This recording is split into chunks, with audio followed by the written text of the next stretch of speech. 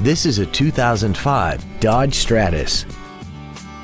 This four-door sedan has a four-speed automatic transmission and a 2.7-liter V6. All of the following features are included. Cruise control, full power accessories, a rear window defroster, a passenger side airbag, tinted glass, speed sensitive wipers, and air conditioning. We invite you to contact us today to learn more about this vehicle.